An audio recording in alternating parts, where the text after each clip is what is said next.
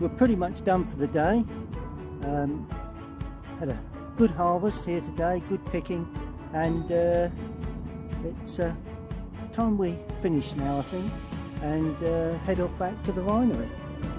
The end of the day, lovely day's picking here at Galleywood Vineyard. Well, this is what we've been picking. The lovely Chardonnay grape. Where it all happens. We're so lucky to have this sort of thing on our doorstep, really.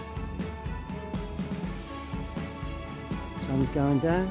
Just had some a shower, but been very enjoyable. Now here's the man who knows all about grapes in Galleywood. Hello. Ian is his name, and uh, we've had a good day here, Ian. We've thoroughly enjoyed it. Oh, lots of people Yeah, say. yeah, that's thoroughly enjoyed It's it. It's, it's And- win-win, as Yes, say. yeah, yeah. We pick, and uh, you press, Get done. and uh, we end up with a lovely Yeah. bottle of Galleywood Yeah. And a Pinot lovely Noir. meal. and a lovely meal lunchtime. Cakes. Cakes in the afternoon. Coffee. So if anybody's looking for a day, Yeah. um, keep, keep your eyes on Next Tuesday, Wednesday, it might be the end. Right. Might So we've got two more days next week. I think so, yeah. Brilliant. Yeah. Yeah. We'll be back. Well, hi everyone. Welcome back to my YouTube channel. Um, I've set up a subject today, and uh, it's uh, a bottle of the local wine here in Galleywood from the Galleywood vineyards. And the reason for this is that um, I went picking grapes for um, the press the other day, so I thought I'd um, set up a subject here in the studio to um, as a memory really of the day spent at the uh, at the vineyard picking grapes. Um, quite a simple subject, an empty glass, bottle not corked yet, um, and the grapes from the vineyard. Um, so um, hope you enjoy uh, the video and enjoy watching how I put this down onto watercolour paper. Well as you can see I'm all set up for my next painting subject after a lovely day spent at Galleywood vineyards picking their lovely grapes to make their beautiful wine decided to paint a memory of that. Well there's the subject in hand. Um, nice composition, nice bit of light there now the sun is moving round and uh, put the drawing down onto my paper. Just pan down into that. I'm going to film this in a in a landscape format. I think that suits the uh, um, the video better when it's seen on the screen. So let's get cracking with the um, with the painting process. Now basically um, the background is a pink quite a light pink cloth. So I'm using my number four um, pointed mop. And I'm going to start at the top. And I'm going to I'm not damping the paper. I'm going to try and keep a nice flow of paint as I come down. Now we're looking at alizarin crimson could use rose madder. Trying to get a cleanish wash here. And I'm adding to that little Indian red because it's not really a pink as such. Uh, well it is a pink but it's a lighter pink. And I'm going to go around the bottle purely because it's quite um, although the bottle is darker I want to have highlights on that bottle. So I'm picking around the bottle. Notice I'm trying to work all the way across the paper like that. Trying to keep it nice and nice and wet as I work. And then I come down that side of the bottle. Then I'm coming down this side. I keep adding colour to the brush. Never run out of paint with the brush that bead of water hanging along the bottom bead of paint is um, something that uh, one has to learn to do that very early on in their painting process or painting skills because you do need to have that um, that skill being able to paint like that now the key to it is that can you see the way I've actually added a little bit of life to the background by I've just added a little bit more Indian red so that we can just get uh, a, a little bit of fin of light coming in. So we've got one or two darker areas. I'm getting a little darker as I'm coming down and I'm going to paint around the glass. Now although we can see through the glass the glass will be a somewhat different through the glass will be somewhat different colour purely because not got any wine in there because this one is going to be cooled before the corking try and pick up that. Come down making that just a little more narrow. Looked as if the, the bottle was a bit thick. Plenty of water going in more paint. A little bit darker as I come down. Trying to keep the fluted glass reasonable shape. I mean that's that's one thing that uh, is um, more difficult to do when you're um, painting this sort of subject to keep the balance but if you can get a clean wash of colour going round the edge of the bowl round the base of the glass, the bottom, just trying to keep it all coming down nice and nice and damp. It's quite warm in here, sun's coming through the um, window.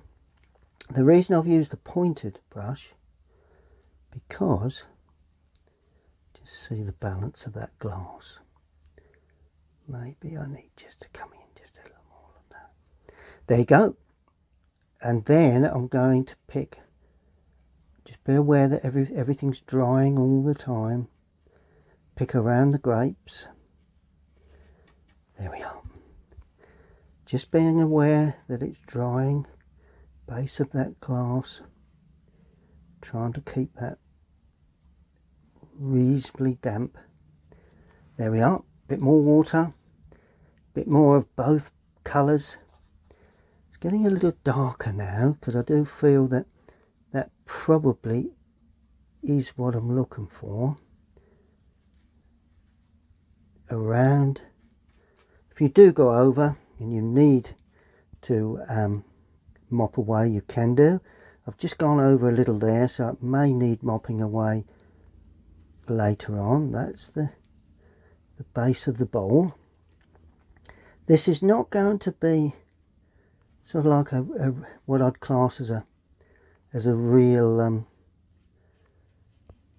it's a study don't like to keep them too tight I like to keep um, these sort of um, paintings as loose as possible it does give you a bit of an idea you know it does give you a bit of opportunity to um, to use a bit of license Try and get the roundness of those grapes a little better. Just create the roundness of those, that's perfect. Just drop into there. That's okay. As I say, it is getting a little bit tight, but hopefully it won't come up too tight.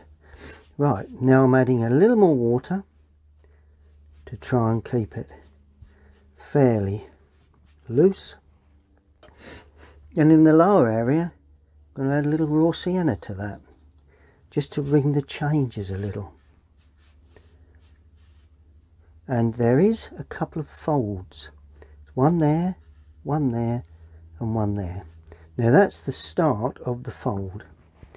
Um, not that um, noticeable at this stage, but it's um yeah I think that probably does it for our first wash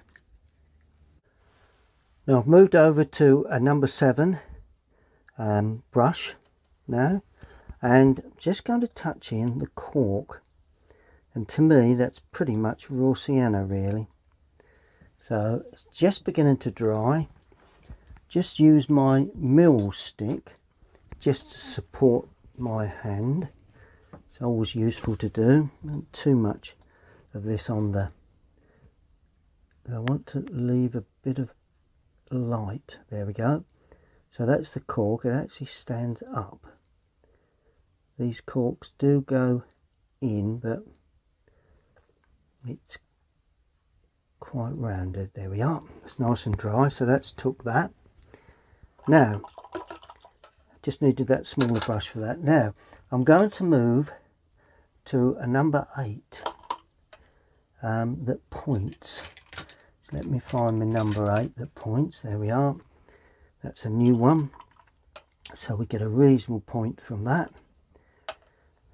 And I'm going to do the bottle itself okay now the bottle itself is a green brown um, sort of a yellowy green brown really. So I'm going to use burnt umber with raw sienna.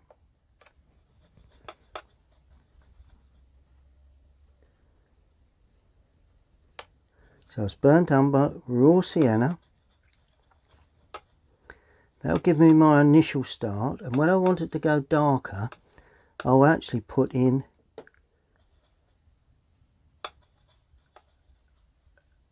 probably ultramarine. But anyway let's make a start. Nice sort of like a yellowy brown really.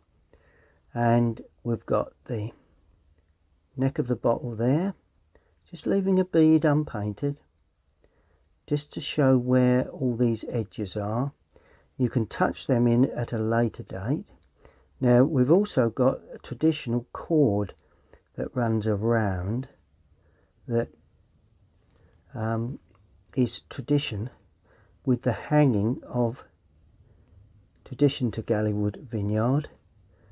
The little logo is the hook. And all you do, you just go around it like that.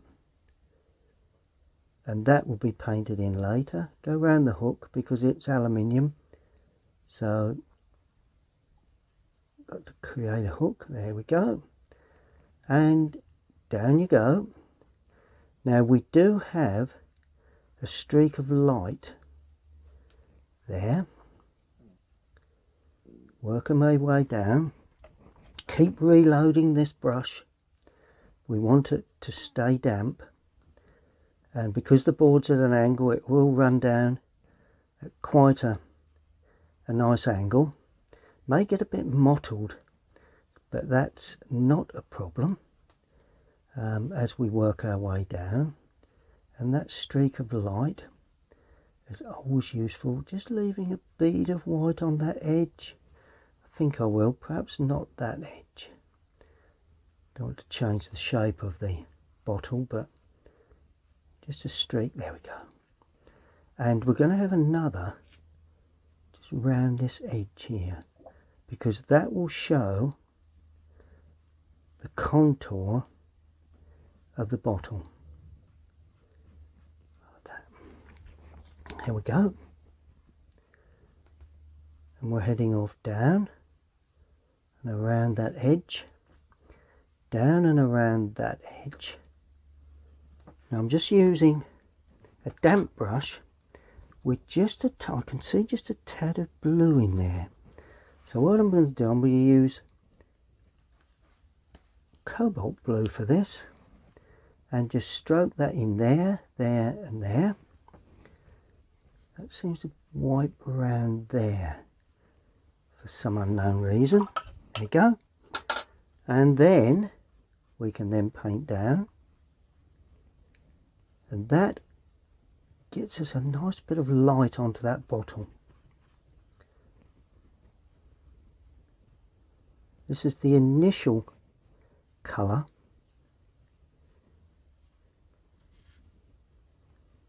There we go, nice bit of sort of bluey light really onto that bottle and then we have to go round the label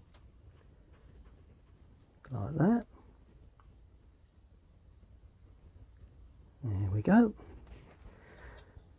And when you've been picking for the um, vineyard you do get a, a feel for the for these lovely old um, bottles and you know you've been in the vineyard you know.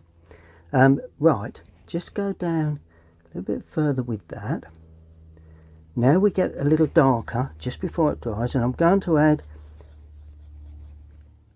ultramarine to that and there is a darker section just down there considerably darker and it, it runs more or less up to there.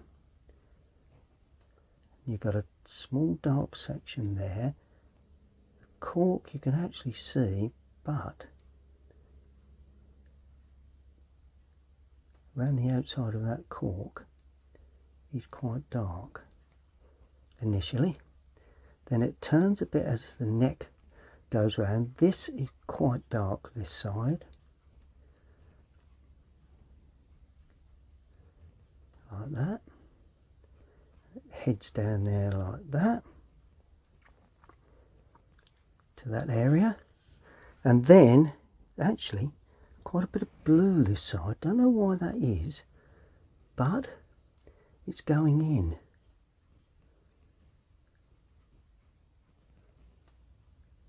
that'll blend nicely with that lighter blue that's there. Just a streak down there. And as that turns you can see the contour of that um, area. That's it. They've got to be determined brush strokes. There we go. That's lovely. And the pinky and the lighter colour is actually the red coming through from the back or the pink coming through from the back and then of course when we go down into the lower area that's when it is very dark because of the thickness of the bottle. So it was um, extremely dark around that bottom edge, although there is a highlight there somewhere. But let's just see if I can pick that up first. Get the edge of that bottle, like that.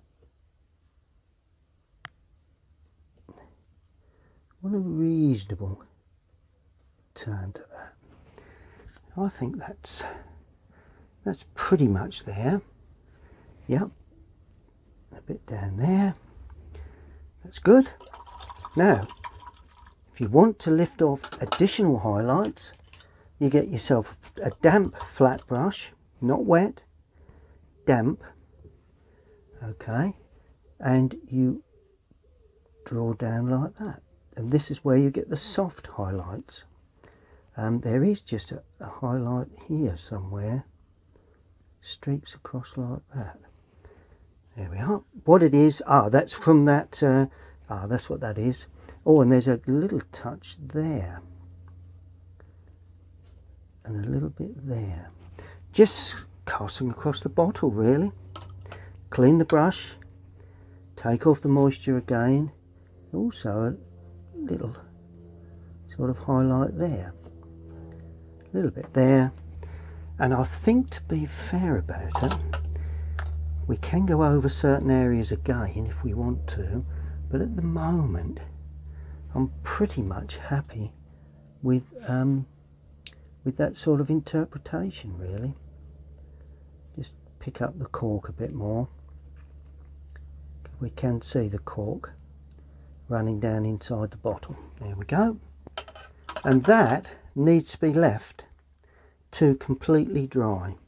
Just soften that a bit, that looks a bit heavy there. There we are, just lift that off. That's it, perfect. Okay, we mustn't play too much, let's leave that to completely dry. Now the glass. Gone back to my number seven. Um, and we can see inside the glass, it's that pinky colour that we started with, but I'm going to put ultramarine with that because it's a duller, it's not as brilliant pinky colour. So we can see through, but it's not as brilliant. And you've got to remember there is a rim around the edge. So we've got to leave that because there's light on that. Actually comes around like that. We can lift off, tidy up that edge shortly. Right. Now we can we come around like that, leaving just a bead. Just went a bit tight there, but there you go. And an edge down there. So that's that there pretty much as is, I think. Like that. Then there's plenty of sort of light in the lower part of this stem there is actually just a little bit of this darker pink. Pick up some off the brush. There we go.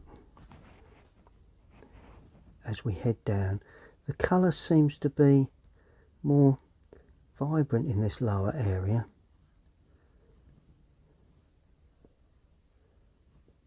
And as we go round, got some very light pinks down the base there. That's good. I'm using that flat again just to lift off and soften some, not all, bit of an area that just tucks back in there that wants softening too. So you have soft edges and hard edges within these uh, shaded areas and that's the thing that will give you that feeling of an empty glass because we can see through it and yet it's not exactly the same colour. Um, simple as that really, you know. A little bit of pinkiness now, a little darker pink, just in the base here. To try and pick up where that finishes there. Just enter a bit into that there like that. There we are. And that comes right the way down to the edge of the bowl. See where that shows a bit more interest from the background at that point. Can't really see the stem. So, and then we just have this similar sort of pink in the base there. Leaving the, the, the rim again as the edge. We'll tidy that up shortly when we get the, um, the finishing touches coming along. Now the grapes themselves are cadmium yellow using number 8 that points, cadmium yellow um, with a touch of ultramarine in there. Some of them are darker than others, um, but let's get them all in this sort of coloration first. May have to lift off some highlights here and there.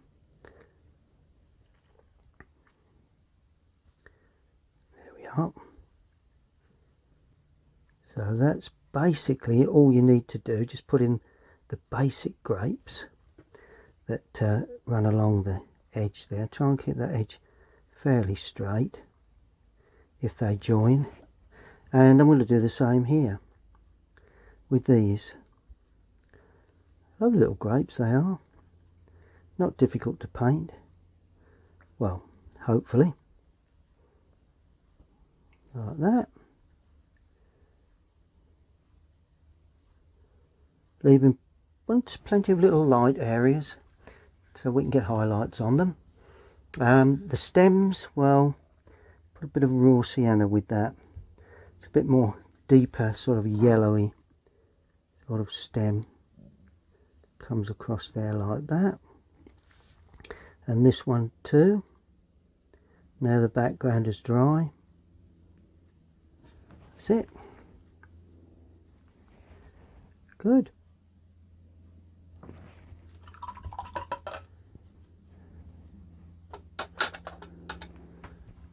Okay, we'll allow that to dry. Good, well I have moved on a little. I'll put a little um, grey, bit of blue and brown uh, around that um, edge uh, and I'll put in a little bit darker um, brown grey uh, for the writing. But the only thing you can really see is Galleywood the rest is uh, a bit you know blurred. We don't really need that sort of detail. Um, just got to finally put in the um, using this blue grey again um, finally put in the hook. And that's on a rounded area like that and it comes round like that and to a point. And that's connected to that there. And that really is the label complete. Pretty simple sub uh, um, way of doing it. So some of you may be a little uh, more detailed than that. And I'm also going to use this same colour quite weak because I don't want to lose it. If you notice I've used a grey sorry a red for the for the like an orange for they, they always have a piece of cord around um, the um, the top holding that hook which is their trademark really. Um, good so there you have it. Now we move to the grapes. And all I've done for the darker colour is um, put in a little more blue really into the mix we had earlier.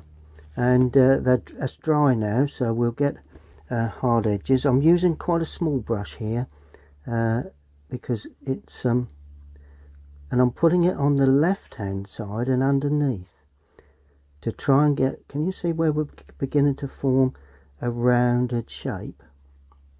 And if you do that you get a nice rounded feel. So you've got light and this is the darker side. So that's the light this is the darker side no white touches there. And really you know to suggest grapes um, pretty much all you need to do uh, to be fair about it you know it's not a difficult thing to achieve. Just got to get a rounded feel to that. Um, leaving one or two light edges. See I've left some white paper. Just lose that a little. Um, because that helps to enhance that effect. Good now it's just really the shadow work. I don't want to get too complicated with this. Um, now a weak shadow on the bottle and I'm going to use the mix is cobalt blue and alizarin crimson. And it doesn't want to be too powerful on the bottle initially. Now we've got the top if I can just get the hand steady for this across there the cork is completely there we go. This left hand side is all in shadow including that but the thickness of that is going to be left unpainted.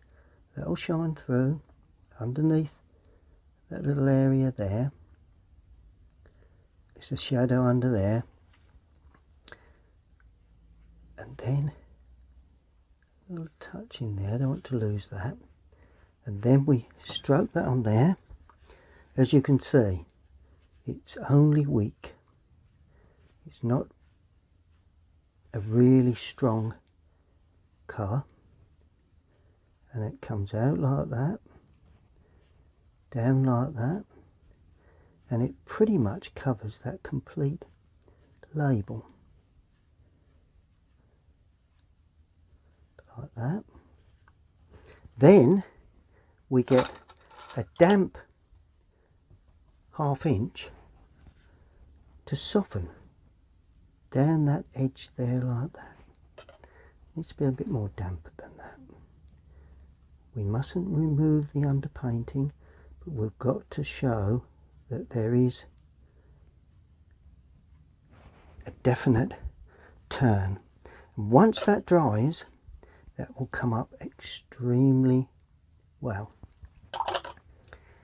To justify that, we get a shadow across the base that spreads out from the base like that.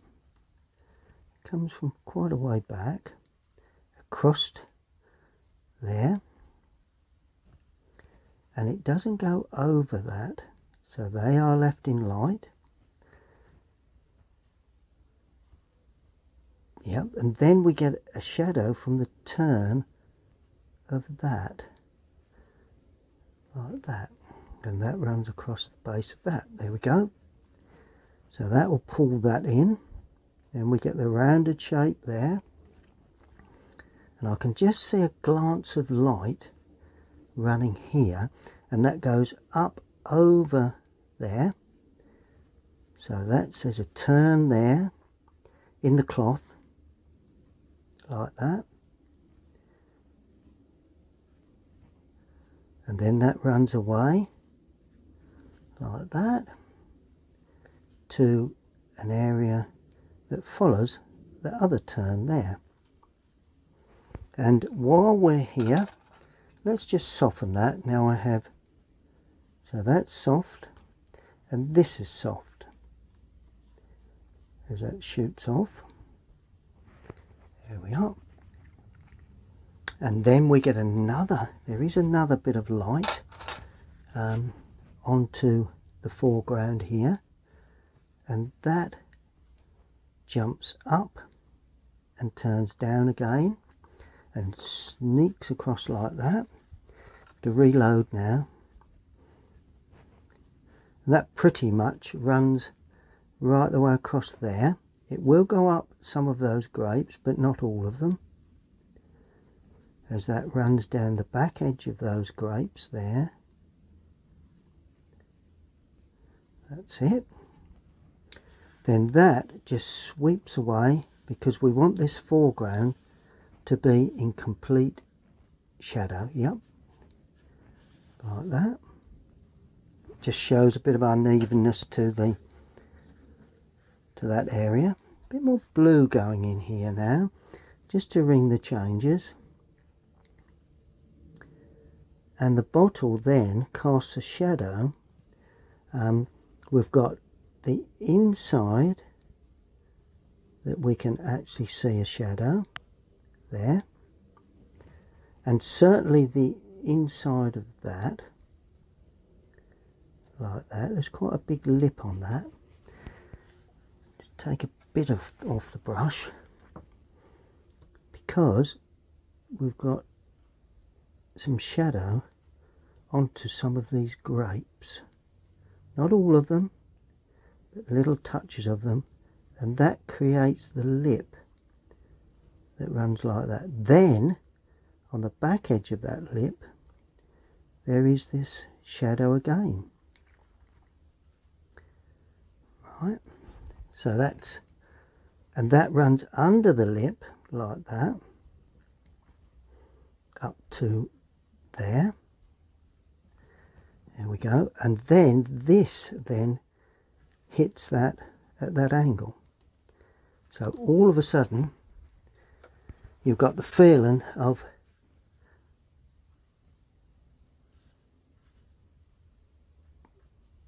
pull that through there we go. And then you've got the feeling of that creating another and there's a there's a turn there. So it goes up again and just bringing a little unevenness to that. Uneven feel to that. Yeah I think that probably works. I'm going to put another little shadow up there just just for interest. Sweep that through. There we go. And that's got to have a lip on that. There we go. That's good. Okay. Just a little more blue now just to drop in just before it dries on that underside of that lip there. I think that probably works quite well and perhaps down this back edge there. Just before it dries it will gradually run down. Yeah that's uh, looking good. Okay. Just a couple of areas that I'm going to soften just because they're hard edged and I feel soft edges would be better that's a little area there and over there it's a little area here so we've got hard edges and soft edges all playing against each other. Bit of a soft edge there. Hard edge where it leaves the bowl. Um, brilliant. I'm pretty much happy with that really. It seems to come off uh, quite well overall. Okay, let's allow that to dry. Now while that's drying I do have a lot of area of light at the top but I need a dark shaft or two so I'm damping with the flat just damping the paper in just a couple of places um, where will I have another dark area. I don't want the dark area. Let's, just be satisfied with a couple of dark areas there like that. Let's just see where we go with this. Okay bit more cobalt blue this time. Don't want it too heavy. And I'm going to have a streak of more or less shadow there and another streak of shadow there. And then as it runs out of picture which certainly tapers down let's come up a little I'm going to weaken it considerably then weaken under there.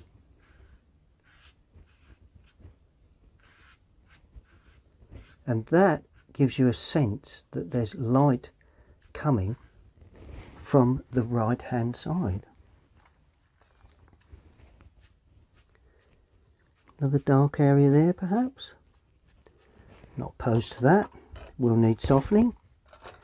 But um, don't want to take away from the effect of um, of light on the subject but it just needs to be uh, just balanced a bit really I think that probably balances it balances things quite well bit of light coming in here so let's put some up to stop that shaft of light because it's not on in the painting.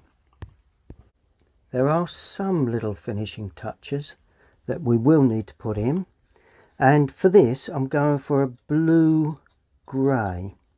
Not too dark cobalt blue a little um, of the what have I put with that? Cobalt blue with a little um, Indian red. And these let's put these on the bottle first. Uh, a little touch under there just to enhance that. Um, a little down there to give a sort of like a secondary shadow on that. A little under there just down that back edge and just picking up one or two little touches there just to give it a little bit of a and just tidy up this edge with this dark colour you can do that quite successfully to actually balance the bottle There we are. I think it probably does it. And I'm going to put another little touch down there, only obviously as far as the label. See where it gives another sort of additional dark colour that probably is the thickness of the bottle. Because you've got to remember the bottle has a thickness as well. And that uh, is always something that is uh, worth thinking about. And the base of the bottle is very dark. It's going to be dark there, that.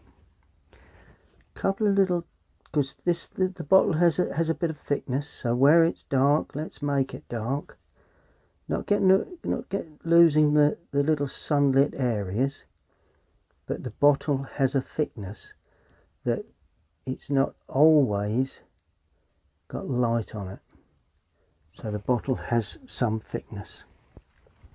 Now I'm just pulling, streaking down with this small brush here and there, just trying to achieve some additional areas of light. Yep, so that doesn't get on there, that's fine. Okay, so I think that's probably the bottle. Now we're going quite a bit of blue now because a bit of water um, because the glass lends itself I think glass always lends itself to being a blue. So there's like a blue tint to that back edge like that. There's also a a rim comes around like that. Um, just having a look while I'm doing this because there are areas to be careful don't want to be over. That's it. Oh and there will be another little area there. It's the odd little fleck of dark. Like that. Then we just use a damp brush again just before they dry just to soften them off there's nothing worse than real hard solid edges in in this glass that's actually empty. So that's what we've got to try and depict an empty glass um, which I think probably um, does it. And there is a shadow that runs like that on the glass. From the bottom and then of course there is an edge there and then we will just paint the back edge of that little turn like that. Just indicates that. Then we're on white so let's keep it nice and blue. Um, we have an edge like that. And the side like that. And there again although it's white can be quite dark. And then I just spread it with a damp brush. And that should give us an additional feeling of shadow right on that back edge. But of course where it meets that area there underneath there's quite a deep shadow. That. But if you get the brush and just spread that in to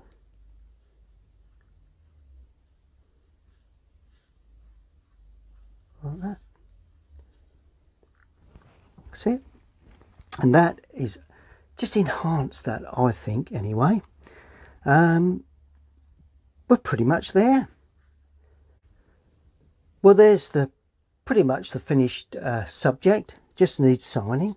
So I'm going to use quite dark colour, a bit of that blue and a bit of brown. And uh, just check it's dry. I'm going to sign on the right.